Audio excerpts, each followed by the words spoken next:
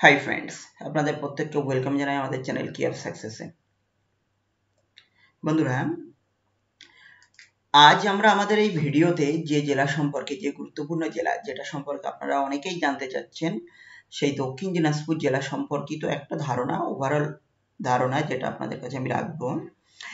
আর একটা কথা বলা ভালো, এই ভিডিওতে যে ইনফরমেশনগুলো দেওয়া হবে, এই দক্ষিণ দিনাজপুর জেলা সম্পর্কিত এই ইনফরমেশনগুলো আপনার যে কোনো কম্পিটিটিভ এক্সাম কিংবা ইন্টারভিউর জন্য কিন্তু খুব ইম্পর্টেন্ট সুতরাং আপনারা ভিডিওটা খুব ভালোভাবে দেখুন। আর একটা বিষয় যেটা, সেটা হলো, আমরা এই ভিডিওর ডেসক্রিপশনে একটা পিডিএফ লিংক দিয়ে রাখব।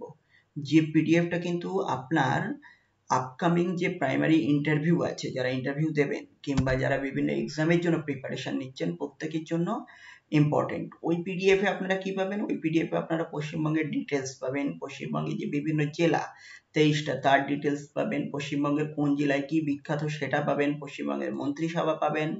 তারপর আপনি যেটা পাবেন সেটা হলো পশ্চিমবঙ্গ সরকারের যে বিভিন্ন প্রকল্প, যেগুলো খুবই ইম্পর্টেন্ট সেগুলো পাবেন। তারপরে আপনার ভারতের যাবতীয় খুঁটিনাটি যেটা, সেটা পাবেন। তারপরে ভারত সরকারের বিভিন্ন যোজনা বা প্রকল্প সম্পর্কে পাবেন। তারপরে আপনার ভারতের যে ক্যাবিনেট, সেটাও কিন্তু পাবেন। তো বন্ধুরা, এই পিডিএফটা খুব ইম্পর্টেন্ট পিডিএফটা একশো তিন পেজের। এই পিডিএফটা আপনারা কালেক্ট করতে পারেন। তাহলে আশা করছি আপনাদের বিভিন্ন কম্পিটিটিভ এক্সাম বলুন কিংবা ইন্টারভিউ বলুন, আপনারা বিভিন্ন রকম হেল্প পাবেন। এরপরে আসুন, এই ভিডিও যেটা বিষয়বস্তু দক্ষিণ দিনাজপুরে, সেগুলো আপনাদের সঙ্গে পরপর আলোচনা করব। তা প্রথমেই আমরা দক্ষিণ চব্বিশ পরগনা দক্ষিণ দিনাজপুর এই জেলাটা কত সালে গঠিত হয়েছিল? অর্থাৎ তার গঠন, বিষয়টা কিন্তু একটু জেনে নেব। দেখুন এখানে। দক্ষিণ দিনাজপুর এই জেলাটা গঠিত হয় পয়লা এপ্রিল উনিশশো বিরানব্বই সালে। পয়লা এপ্রিল উনিশশো বিরানব্বই সালে। নামকরণের ইতিহাস বা জেলা গঠনের ইতিহাসটা আমরা একটু দেখে নিই। ইতিহাস অনুযায়ী জয়ন দিনাজ বা দিনদাস দিনাজপুর রাজ পরিবারের প্রতিষ্ঠাতা। একজন ব্যক্তি ছিলেন যিনি জয়ন দিনাজ বা দিনদাস দিনাজপুর রাজ পরিবারের প্রতিষ্ঠাতা ছিলেন। তার নাম অনুসারে রাজবাড়ির মৌজাটার নাম হয় দিনাজপুর, যা বর্তমানে বাংলাদেশে অবস্থিত। বাংলাদেশেও কিন্তু দিনাজপুর জেলা আছে, আপনারা অনেকেই জানেন। পরবর্তীতে ব্রিটিশরা রাজার সম্মান অনুসারে রাজ পরিবারের অন্তর্গত জেলার নাম করেন কি? জেলার নাম করেন দিনাজপুর। এরপরে যে ঘটনাটা ঘটে, সেটা হলো দেশভাগের পর দিনাজপুর জেলার পশ্চিম অংশ নিয়ে গঠিত হয় পশ্চিম দিনাজপুর জেলা। এরপর পশ্চিম দিনাজপুর জেলার দক্ষিণ অংশ নিয়ে পয়লা এপ্রিল উনিশশো বিরানব্বই সালে দক্ষিণ দিনাজপুর জেলার আত্মপ্রকাশ ঘটে। মানে এই যে পশ্চিম দিনাজপুরটা হয়, পশ্চিমবঙ্গের মধ্যে যেটা অবস্থিত, তার যেটা দক্ষিণ অংশে, সেটা নিয়ে কিন্তু পয়লা এপ্রিল উনিশশো বিরানব্বই সালে দক্ষিণ দিনাজপুর জেলার আত্মপ্রকাশ, আর যেটা উত্তর অংশ ছিল সেটা নিয়ে আপনার উত্তর দিনাজপুর জেলার আত্মপ্রকাশ ঘটেছিল।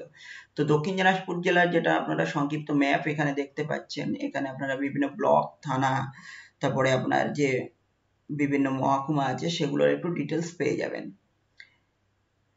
এবার আমরা এই জেলার যেটা রাজনৈতিক পরিচয় বা কটা মহকুমা, কটা থানা আছে, এই জিনিসগুলো একটু দেখে নিই। তো দেখুন, এই জেলার মহকুমা সংখ্যা দুটি, একটা হলো বালুরঘাট আর একটা কি, আর একটা হলো গঙ্গারামপুর। লোকসভা একটা, সেটা হলো বালুরঘাট। বিধানসভা ছটি।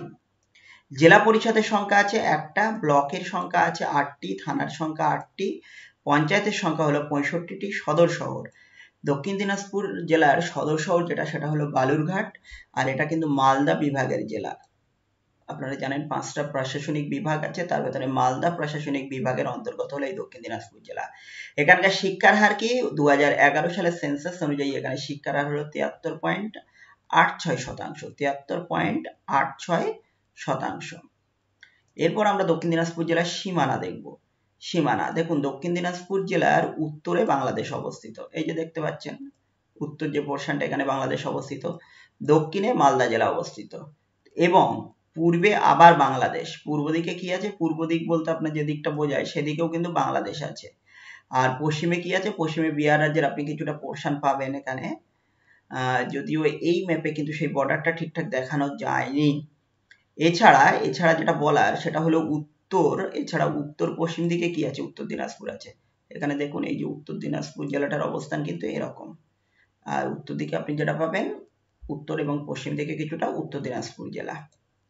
তাহলে সীমানা হয়ে গেল দক্ষিণ দিনাজপুর জেলা। এবার দেখুন, দক্ষিণ দিনাজপুর জেলার যেগুলো প্রধান নদ নদী, সেগুলো সম্পর্কে আমরা জানব। তো দক্ষিণ দিনাজপুর জেলার প্রধান নদীর ভেতরে আপনি প্রথমে যার নাম বলতে পারবেন, সেটা হলো মহানন্দা, তারপরে হলো আত্রাই, অঙ্গন ইত্যাদি। এগুলো কিন্তু আপনার কি হচ্ছে? এগুলো কিন্তু খুব গুরুত্বপূর্ণ নদী দক্ষিণ দিনাজপুরের। সড়কপথ NH five one two, rail station, Balurghat, তারপরে বুনিয়াদপুর, গঙ্গারাম ইত্যাদি কিন্তু দক্ষিণ দিনাজপুর জেলার উল্লেখযোগ্য রেল স্টেশন, বিমানবন্দর।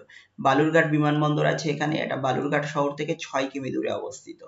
ফসল, ধান, গম, পাট, বিভিন্ন রকম শাকসবজি, বিভিন্ন রকম ফল, বিভিন্ন রকম তৈলবীজ এই জেলায় কিন্তু প্রচুর পরিমাণের উৎপাদিত হয়ে থাকে। উল্লেখযোগ্য শিক্ষা প্রতিষ্ঠান। দক্ষিণ দিনাজপুর জেলার উল্লেখযোগ্য শিক্ষা প্রতিষ্ঠান ভেতরে আপনি প্রথমে যার নাম বলতে পারবেন সেটা হলো Gangarampur college, government college general degree college, তারপরে Balurghat college, Buniadpur college, Balurghat Mahila Mahavidyalaya, Gangarampur government polytechnic college, Balurghat law college ইত্যাদি। এগুলো কি? এগুলো হলো দক্ষিণ দিনাজপুর জেলার উল্লেখযোগ্য শিক্ষা প্রতিষ্ঠান। এছাড়া আরও একাধিক শিক্ষা প্রতিষ্ঠান এই জেলায় অবস্থিত। দক্ষিণ দিনাজপুর জেলার বিশিষ্ট ব্যক্তিগণের ভিতরে আপনি যাদের নাম বলতে পারবেন। প্রথমে যার নাম বলবেন সেটা হলো তাপস কুমার কুণ্ডু, ইনি বিখ্যাত জীববিজ্ঞানী। তারপরে আছেন পলাশ বর্মন, ইনি বিখ্যাত রাজনীতিবিদ। অর্পিতা ঘোষ, ইনিও একজন বিশিষ্ট রাজনীতিবিদ। তো এনাদের নামগুলো কিন্তু আপনি বিশিষ্ট ব্যক্তিবর্গ হিসাবে বলতে পারবেন। তারপরে আসুন, আমরা দেখব এই দক্ষিণ দিনাজপুর জেলার বেশ কিছু দর্শনীয় স্থান। দেখুন দক্ষিণ দিনাজপুর জেলার বেশ কিছু দর্শনীয় স্থানের মধ্যে আপনি প্রথমেই যার নাম বলবেন সেটা হলো হিলি আন্তর্জাতিক চেকপোস্ট। হিলি আন্তর্জাতিক চেকপোস্ট। এই হিলি আন্তর্জাতিক চেকপোস্টটা কোথায় অবস্থিত? এটি ভারত, বাংলাদেশের সীমান্ত স্থলবন্দর ও বর্ডার চেক পয়েন্ট এটি পণ্য ও লোকজনের সঠিক চলাচলের জন্য দু হাজার আঠারো সালে ইন্টিগ্রেটেড চেক পয়েন্ট হিসাবে বিকাশ লাভ করেছে।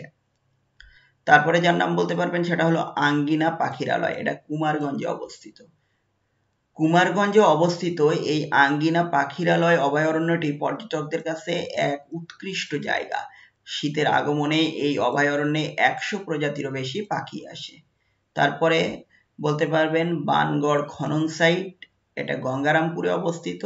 এটি একটি ঐতিহাসিক স্থান, যা এই জেলার প্রধান ঐতিহাসিক দর্শনীয় স্থান বললেও চলে। তাহলে প্রধান দর্শনীয় স্থানটা কি? বানগড় খনন সাইট এটা কোথায় অবস্থিত? এটা দক্ষিণ দিনাজপুর জেলার গঙ্গারামপুরের দিকে অবস্থিত। এরপরে আপনি দর্শনীয় স্থান হিসেবে যার নাম বলবেন, সেটা হলো বড়গ্রাম রাজবাড়ির ধ্বংসাবশেষ। বড়গ্রাম বড়গ্রাম রাজবাড়ির ধ্বংসাবশেষ। এটা বণিকপুর থেকে সাত কিমি দূরে বড়গ্রামে অবস্থিত রাজবাড়ি। এর আয়তন প্রায় পাঁচ বিঘা। এই ধ্বংসাবশেষ সমতল ভূমি থেকে তিরিশ মিটার উচ্চতায় অবস্থিত। তারপরে আছে আপনার বোল্লা কালী মন্দির। এই কালী মন্দির বালুরঘাট শহর থেকে কুড়ি কিমি দূরে বোল্লা গ্রামে অবস্থিত। এটা একটা পুরনো ও প্রসিদ্ধ কালী মন্দির। এছাড়া বালুরঘাট গ্রন্থাগার, বালুরঘাট মিউজিয়াম ইত্যাদি দক্ষিণ দিনাজপুর জেলার কি প্রসিদ্ধ স্থানসমূহ। তো বন্ধুরা, এখানে দক্ষিণ দিনাজপুর জেলার যে সংক্ষিপ্ত পরিচয়, সেটা কিন্তু আপনাদের সঙ্গে শেয়ার করলাম। তো আপনাদের ভিডিওটা কেমন লেগেছে অবশ্যই জানাবেন। আপনাদের যদি আরও কোনো কিছু জানার থাকে, সেগুলো সম্পর্কেও আমাদের জানাবেন কমেন্ট সেকশনে এসে। আরও কোন জেলা সম্পর্কে আপনারা জানতে চাচ্ছেন।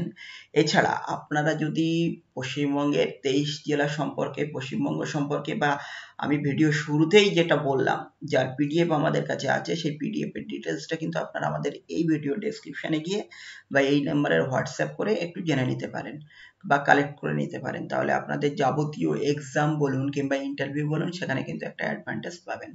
তো সকলে ভালো থাকবেন, সুস্থ থাকবেন। সকলকে ধন্যবাদ জানিয়ে এখানেই আজ শেষ করছি।